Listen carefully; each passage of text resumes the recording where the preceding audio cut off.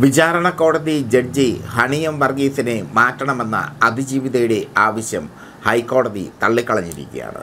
ഈ അവസരത്തിൽ സുപ്രീം കോടതിയിലേക്ക് പോകുന്നു അതിജീവിത. സുപ്രീം കോടതിയിലേക്ക് പോകാനുള്ള നിയമത്തിന്റെ നൂലാമാലകൾ അന്വേഷിക്കുകയാണ് അതിജീവിതയുടെ അഭിഭാഷകൻ. അതിജീവിത സുപ്രീം കോടതിയിൽ എത്തിയാൽ അതിജീവിതയ്ക്ക് നീതി കിട്ടുമോ? അതിജീവിതയ്ക്ക് വേണ്ടി ഇതുവരെ വാദിച്ച അതിജീവിതയുടെ കേസിനെപ്പറ്റി നന്നായി ഹൃദ ഹൃദയസ്ഥമാക്കിയ retired S P George Joseph politics കേരളയോട് പറയുന്നു. അതിജീവിതയുടെ ഇനിയുള്ള നീക്കങ്ങൾ എങ്ങനെയായിരിക്കും എന്നുള്ളത്? ഏതായാലും നമ്മൾ ആരും പ്രതീക്ഷിക്കാത്ത ഒരു ഒരു വിധിയാണ് ഹൈക്കോടതിയിൽ നിന്ന് വന്നത്.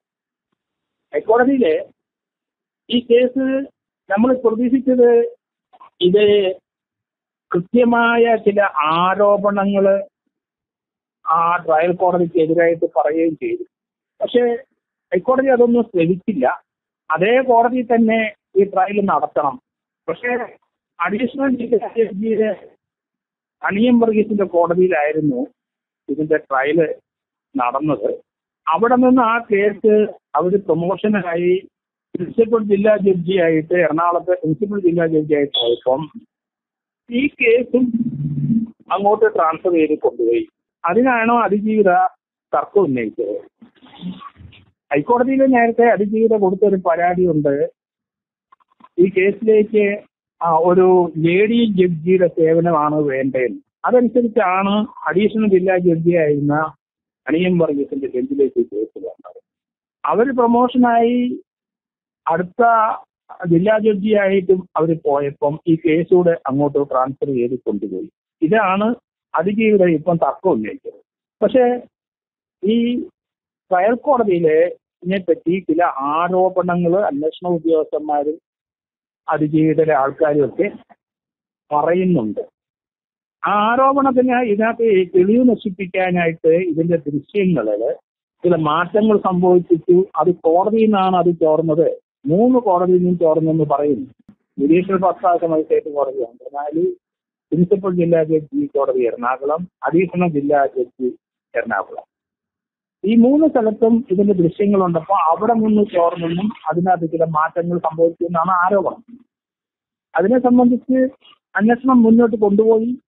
ക്രൈംബ്രാഞ്ച് ഇപ്പോഴത്തെ അന്വേഷണ ഉദ്യോഗസ്ഥരെല്ലാം ആ ഭാഗത്തേക്ക് സഞ്ചരിച്ചിട്ടുമുണ്ട് പക്ഷേ നമുക്കറിയില്ല ഇപ്പോഴത്തെ അന്വേഷണത്തിന്റെ പോക്ക് എങ്ങനെയാണെന്നൊന്നും അറിയില്ല. എങ്കിലും നാല് വക്കീലന്മാര് ബോംബെയിൽ പോയി അതിനകത്ത് ആ മൊബൈൽ ഫോണിൽ ചില മാറ്റങ്ങൾ വരുത്തി എന്നും കണ്ടെത്തിയിട്ടുണ്ട്. അവരുടെ സ്ഥാനം തെളിവ് നശിപ്പിച്ചതിന് പ്രതികളാകേണ്ടതാണ്. ഏതായാലും പോലീസിന്റെ അന്വേഷണം ഫർദർ ഇൻവെസ്റ്റിഗേഷൻ ഒരു റിപ്പോർട്ട് കൊടുത്തു. അടുത്ത റിപ്പോർട്ട് കൂടി അന്വേഷണം പൂർത്തിയാകും. ആ അന്വേഷണം ഏത് വഴിക്ക് നീങ്ങിയെന്ന് നമുക്ക് വ്യക്തതയില്ല. ഏതായാലും ട്രയലിനെ സംബന്ധിച്ച് ഇപ്പം ഹൈക്കോടതി പറയുന്നത് ആ അഡീഷണൽ ജില്ലാ ജഡ്ജി തന്നെ ആണ്. ഒരു ലേഡി തന്നെ ട്രയൽ നടത്തണമെന്നുള്ള അതിജീവിതയുടെ ആ ആവശ്യപ്രകാരമാണ് അഡീഷണൽ ജില്ലാ ജഡ്ജിയിലേക്ക് ഈ കേസ് മാറ്റിയത്. അതുകൊണ്ട് ആ ആ കോടതിയിൽ എറണാകുളം ജില്ലയിൽ ഇപ്പം വേറെ ലേഡി ജഡ്ജസ് ആരുമില്ല. പ്രിൻസിപ്പൽ ജില്ലാ ജഡ്ജിയെ അവർ തന്നെയാണ് പ്രൊമോട്ട് ചെയ്തു പോയത്. അതുകൊണ്ട് ആ കേസിന്റെ ട്രയൽ അവിടെ കണ്ടിന്യൂ ചെയ്യുമെന്ന് ഹൈക്കോടതി പറയാം ഇതിനോട് ആരെങ്കിലും അതിജീവിതയും അതിജീവിതയുടെ വക്കീലും അവരാരും അതിനോട് യോജിക്കുന്നില്ല. അതുകൊണ്ട് ഇനി സുപ്രീം കോടതി പോകും എന്നാണ് ഞാൻ കരുതുന്നത്. ഈ സുപ്രീം കോടതിയിലെ നിയമയുദ്ധം ജയിക്കാനുള്ള സാധ്യതയുണ്ടോ സാർ അതിജീവിതയുടെ അതിന് സാധ്യത കുറവാണ്. കാരണം എത്രയും പെട്ടെന്ന് സി ഡി ട്രയൽ നടത്തണമെന്നും അങ്ങനെ സുപ്രീം കോടതിയിലെ നേരത്തെ കുറെ ഒരു മാർച്ച് ഇരുപത്തി ആറാം തീയതിക്കാണ് ട്രയൽ തീർക്കണമെന്നൊക്കെ പറഞ്ഞ് സുപ്രീം കോടതിയിലെ നേരത്തെ ഡയറക്ഷൻ സുപ്രീം കോടതിയിൽ നിന്ന് ഉണ്ടായിരുന്നു പക്ഷെ അതിനുശേഷം ഒത്തിരി സംഭവവികാസങ്ങൾ ഈ കേസിന്റെ അന്വേഷണത്തിൽ ഉണ്ടായി. ചില പാളിച്ചകൾ അന്വേഷണത്തിൽ ഉണ്ടായിരുന്നു എന്നൊക്കെ കണ്ടെത്തി കഴിഞ്ഞിട്ടുണ്ട്. അതുകൊണ്ട് പല സന്ദർഭത്തിൽ ഹൈക്കോടതി ഇതിന്റെ അന്വേഷണം നീട്ടി നീട്ടി കൊടുക്കുകയും ചെയ്യും എന്തായാലും ഇപ്പോഴത്തെ സിറ്റുവേഷൻ അതല്ല. കോടതി ഏത് കോടതിയിലാണ് ഇതിന്റെ ട്രയൽ നടത്തേണ്ടത്? ഏതായാലും അന്വേഷണം ഹൈക്കോടതി ഇപ്പം കൊടുത്തിരിക്കുന്ന സമയപരിധിക്കുള്ളിൽ അന്വേഷണ ഉദ്യോഗസ്ഥന്മാർക്ക് കംപ്ലീറ്റ് ചെയ്യാൻ കഴിയുമെന്നാണ് ഞാൻ കരുതുന്നത്.